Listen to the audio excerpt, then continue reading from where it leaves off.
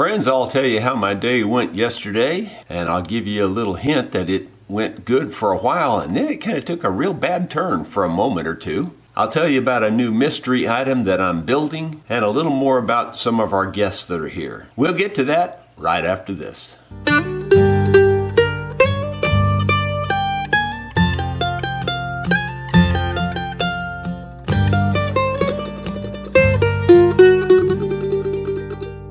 Hello, my friends. Jerry Rosa here in the Rosa Stringworks Workshop. It is Tuesday, May 30th. Tuesday reminds me that we'll be playing this evening at Dickey's Barbecue Pit in Rolla, Missouri. Unfortunately, Gary and Don, the guitar player and the bass player, will not be there again tonight. They're out camping at the Back 40 Bluegrass Festival. So it's going to be me and hopefully Beverly and hopefully Bill Pilliard and Leon Pruitt from uh, Defiance, Missouri. So there'll be four of us, and we should be able to do just fine with that. If you're in the area and you can make it out, please come on by. We'd love to have you. Meant to tell you yesterday about our visitors from Italy. We have Matteo Delacorna and his family, uh, Julia, his wife, and his two baby daughters. The little girls, uh, of course, don't really speak much English at all, so it's really tough to uh, communicate with them, and uh, I'm afraid I'm scaring them a little bit because they don't understand me.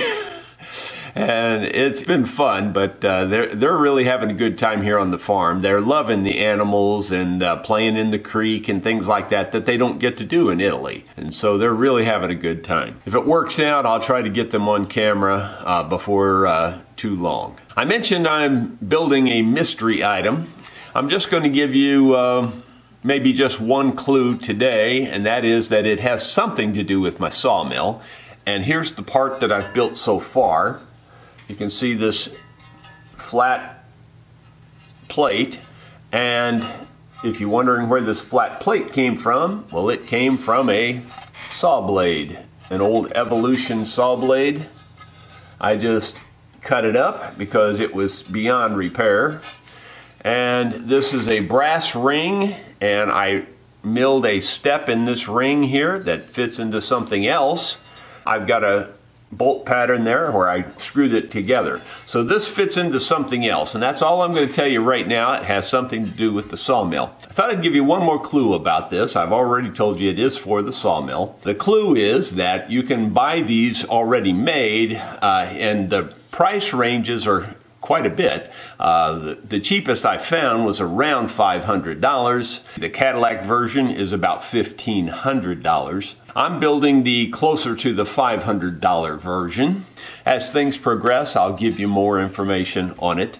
And I am trying to make a video on uh, building this thing, so you'll eventually see it in a full video. But I want to keep it a mystery for now and let you guys just be thinking about what it might be. Well, I mentioned that I uh, did have a, a good day yesterday, but it did take a turn for the worse.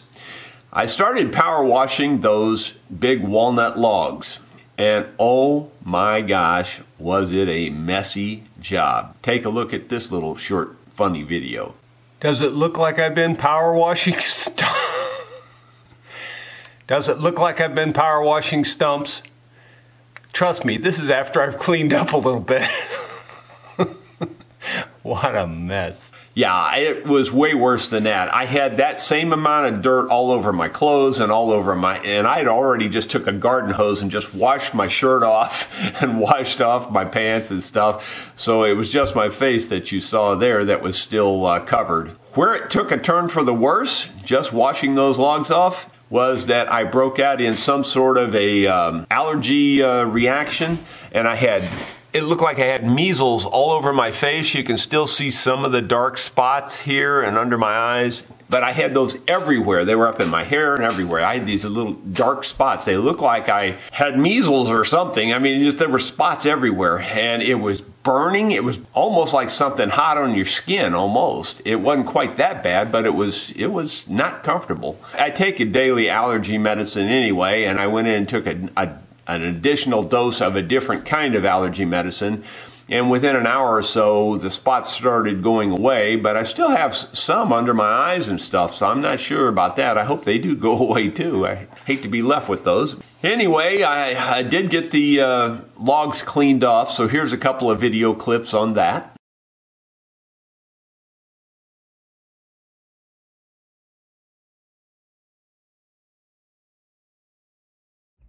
Well, does it look any cleaner? I sure hope so. Though there's still a few embedded rocks. See that rock right there? It's embedded in there. And there's more rocks embedded, like right here. But you know what? This is going to be more beautiful than I even thought. There's going to be so much curl and figure in this wood. I can't hardly wait to make something out of it. Two of the thoughts I have right now are making a couple of uh, gun stocks to replace a couple of plastic uh, rifle stocks that I have. These are hunting rifles. They're not the, uh, you know, assault rifles or anything. They're recreational type rifles. But it would be beautiful to make a handmade stock out of these uh, logs that I cut out of my front yard. And there could be lots of other things, maybe a couple of charcuterie boards, maybe a table. Uh, there, it could just be almost anything. So there'll be a lot of projects to come, probably made from these walnut logs, especially this big boy here.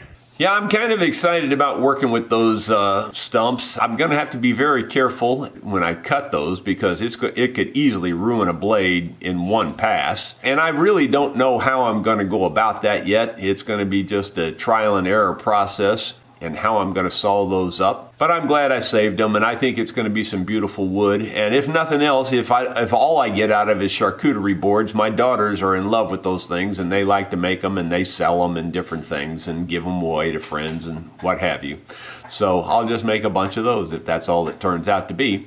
But as I mentioned in that one clip, I'm thinking about making a couple of rifle stocks for a couple of my uh, uh, hunting rifles that I have. You know, just more or less for something to do, and it'll be something that I can carve and make on camera and, and do a video on that as well.